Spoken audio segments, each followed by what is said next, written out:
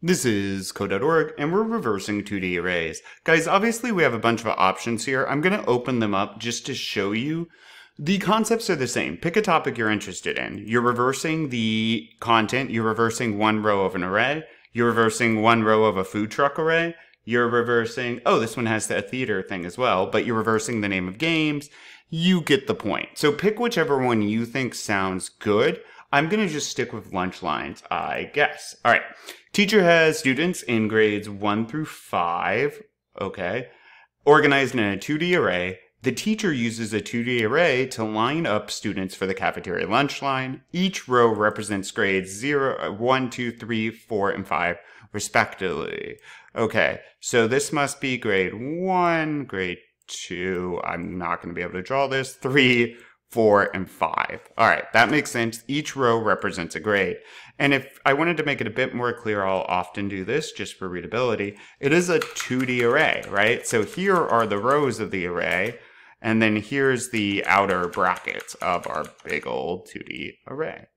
All right, you don't need to do this. I just think it makes it more clear. All right, write the reverse line methods to reverse each row of our 2D array. Okay, so that should be here.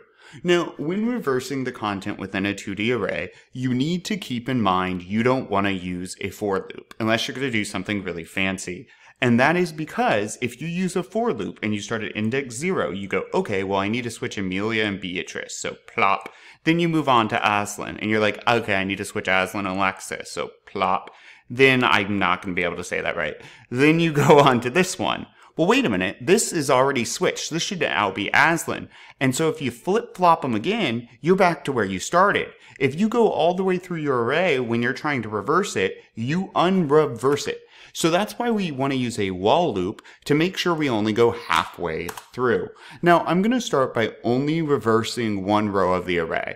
We will get into the complexity of multiple rows in a second, but let's just start with one. I'm going to start with int start equals zero. So this is the start index is what I'm getting at. Or I could do starting column if I wanted. Uh, starting row index. Uh, I'm just going to say starting start. I'm just going to say start. And start's going to be equal to zero. Now, the end, int end, is going to be equal to the length of the array. What's my array here? Well, if I scroll up, I know it's a 2D array of students. So I'm going to do students. Now keep in mind, if I just do students dot length, what that will give to me is the length of this entire 2D array. The length of the entire array is one, two, three, four, five. Okay? Now, it just so happens that it looks like each of these have five names as well. Regardless, we don't want the length of the array. We want to know the length of each row because we're reversing a row which is why I'm going to want to put zero. And since a length is always going to be one more than the last index, right? The length of this is five, but there's only zero, one, two, three, four is the max index. So I need, whoops, students, zero, row zero is where I'll get the length. And then I'm going to subtract one to make sure I can use it as an index. And now for my while loop, while let's do start. So as long as my starting value is less than my ending value, what do I want to do? I want to move through my array. Now, I don't want to kill off any students. I don't want to get rid of Amelia when I'm trying to flip through the array. So I can't just say, you know, student, uh, row zero, I said I was going to start with, uh, start is going to be equal to student uh, row zero, end, boom. And the reason I can't do this is goodbye to our friend Amelia. Amelia would now be equal to whatever values at the end of the first row, which is Beatrice. But then I can't change Beatrice. Amelia's gone, right? If I do start zero, end equals students this isn't going to do a thing, because now the starting point is already set to Beatrice. I have lost our friend Amelia. Let's not lose Amelia. It's not kind. So, what I'll do instead is I'm going to save it before I save over it. String, I like calling it temp. It's pretty standard in programming to do that. And what I want to save is the student's name that I am about to write over. which is the starting. I'm going to write over the starting student, so I'll go ahead and save the starting student's name here.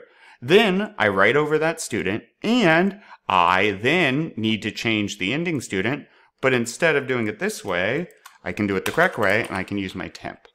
Last thing I need to do, and I always forget this, is we have to iterate. Start needs to go up by one. So start plus plus, or start equals start plus one is what I'm doing there. And then end needs to go decrement down by one. So I'm going to start counting down and up. And that's because once they meet in the middle, once these two are equal, we should stop looping because we don't need to switch things anymore. Now again, this is just row one, and I'm not even sure I've done this right, but thankfully we get to debug. So let me go ahead and ask it to run. And let's see. Boom. So it looks like the second time through, it did reverse the first row. Except the first row isn't good enough. We want to reverse all of them. So let me head back over here. And this is where it gets tricky. We need to loop through every row of our array. This is going to now be a loop inside of a loop.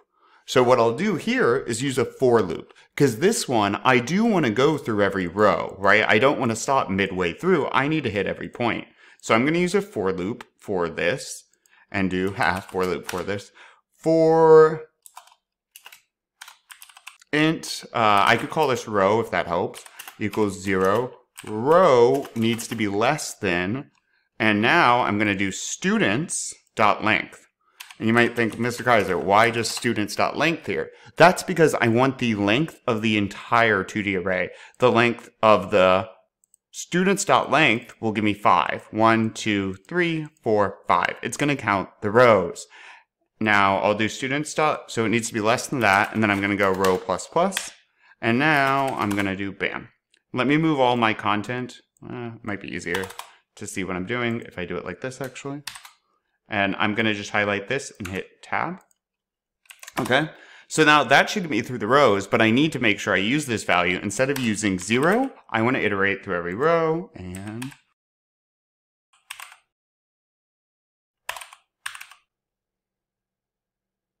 cool. That's looking good. And just so I can uh, tell, print students, let's do a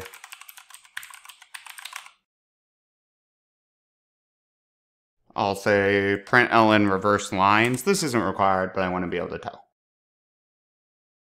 Bam. Reverse lines, flip, flip, flip, flip, and flip.